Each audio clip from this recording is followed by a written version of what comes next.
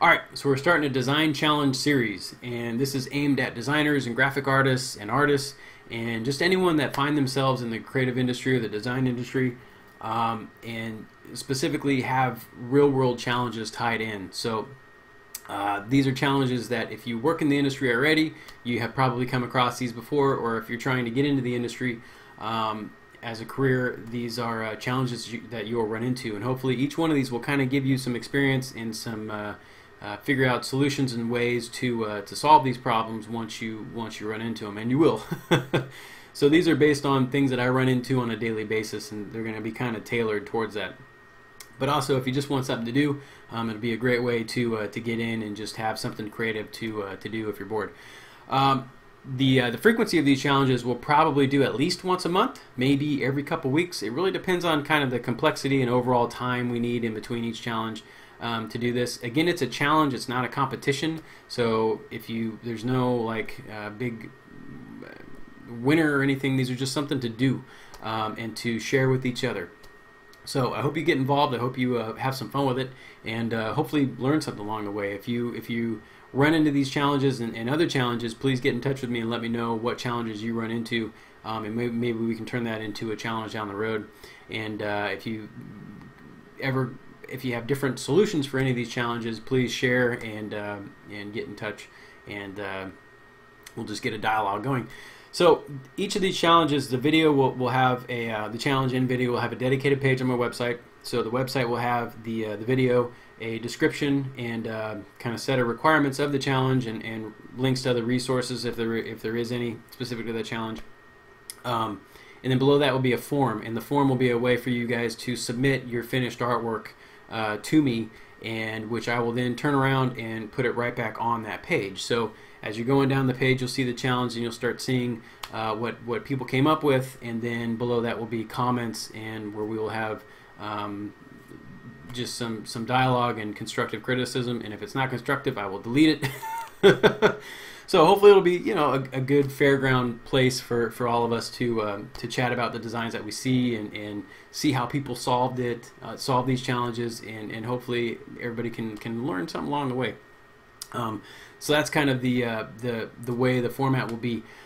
Uh, the the form also has uh, it asks for your name and website and all that stuff. That's just ways so I can link um, back to you if you want. So if you don't want me to link back to you, um, just let me know in, in, the form when you submit the artwork. But uh, each uh, each submission will have a link back to uh, um, wherever you want. So that's kind of an incentive to uh, maybe drive some more traffic to uh, to wherever you want it to go. Um, so that being said, that's kind of how I see this whole thing going. We're you know we're just kind of playing this by ear. This is the first time out, so um, yeah. So let's get into the first challenge. So you're probably looking at my screen wondering what you're looking at. If you haven't seen this before, this is a YouTube uh, banner template that I created whenever the last switch was, so like six months ago or something.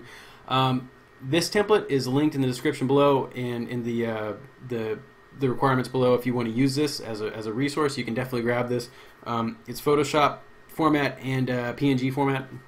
Download it um, and you can build your banner on top of it. So that's the first challenge is to build a YouTube banner, but we haven't gotten to the challenge part yet.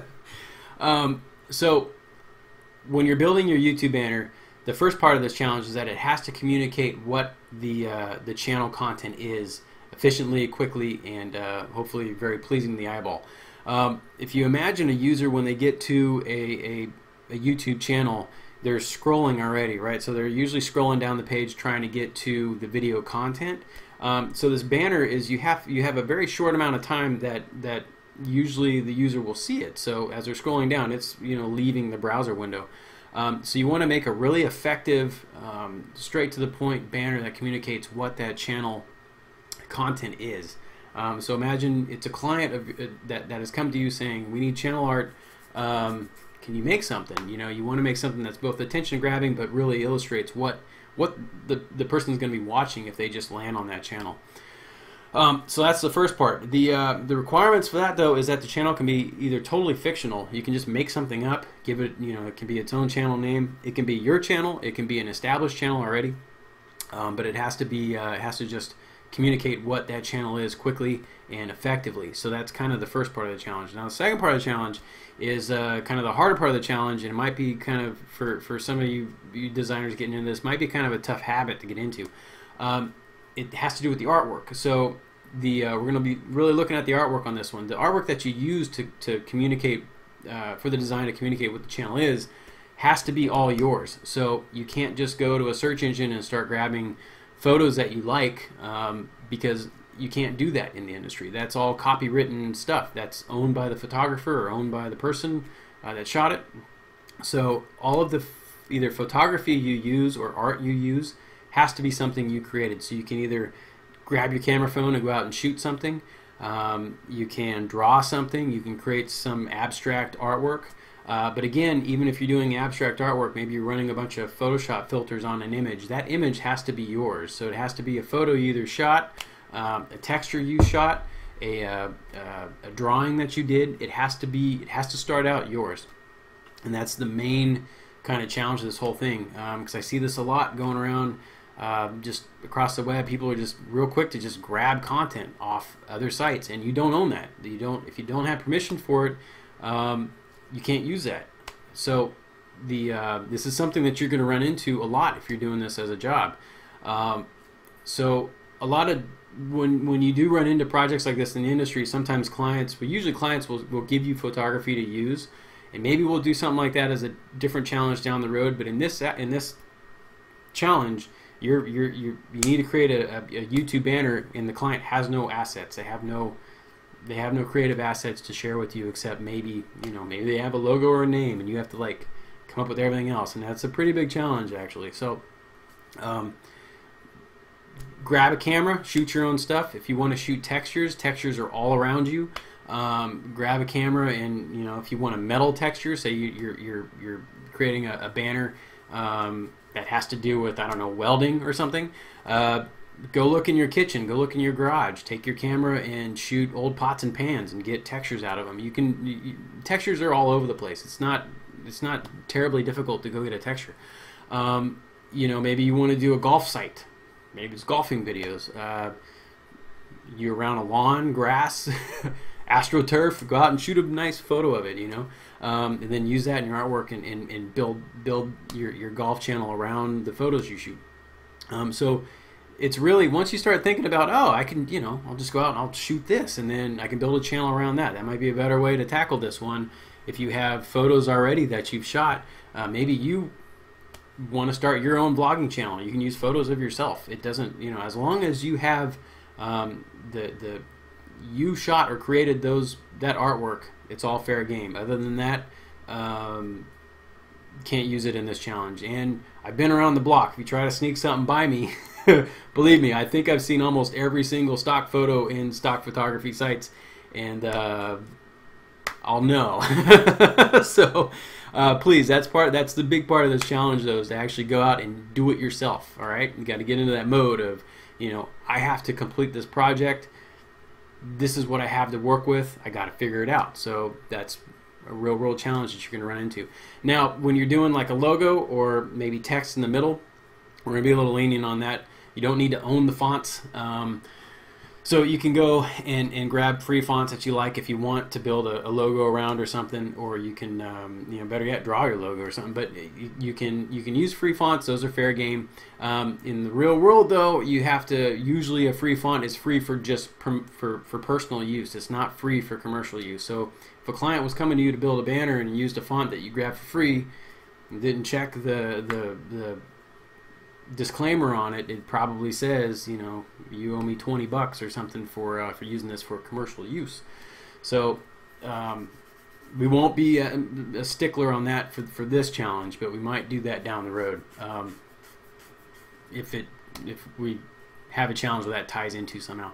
Um, so fonts are fair game, but artwork definitely not. Um, artwork has to be all completely sourced your own.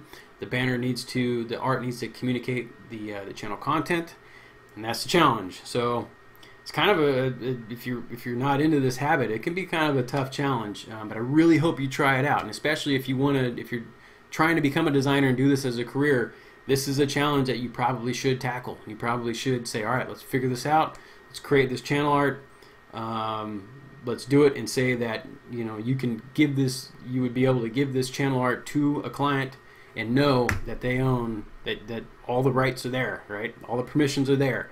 Um, there's no worries. So um, that's the whole kind of real world goal in this situation. So um, I've been talking for way too long. It's already been 10 minutes but let me just show you kind of a quick um, example. So I shot this photo of Morro Rock and it's a it's this big rock that's right off the shoreline in Morro Bay, California, and they have it's this cool rock. It's it's very unique, uh, very iconic of, of the shoreline there.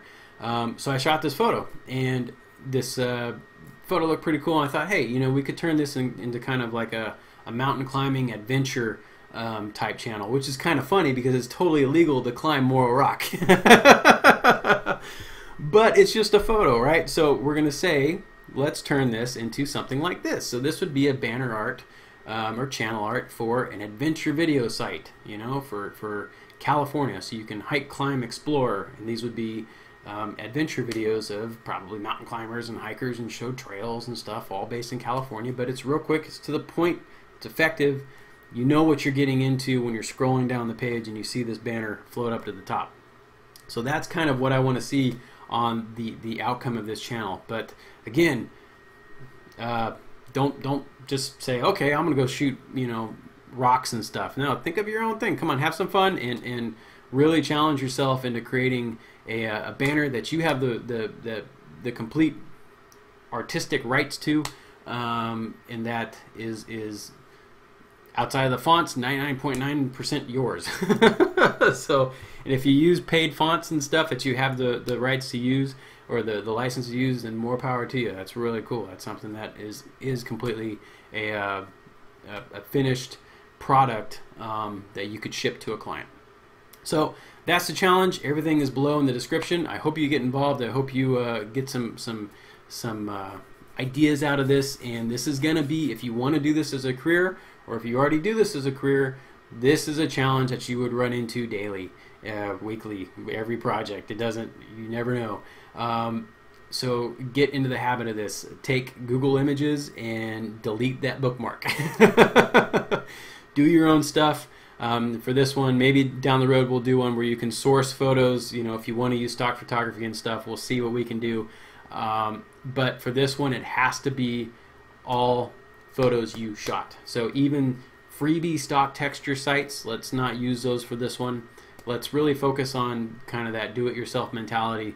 And this is, you know, you need to get this solved, this this project done. So imagine it's a deadline from a client. You know, what are you going to do? How are you going to handle it? How are you going to tackle it? So that's the challenge for this one. Uh, again, once you're done, submit the videos through, or submit the, uh, the artwork through that form. Also, if you um, if you do record the process, uh, maybe I can link that up somehow as well. Um, I don't know if you can do response videos anymore on YouTube, but if you can, you know, I would do that. But uh, maybe we can link back to your videos as well if you do kind of a, a process, a time lapse process or speed art of of that uh, that banner. So, all right, have some fun, go to town, and uh, let's see what you come up with. And I'll start brewing up ideas for challenge number two. All right, take care.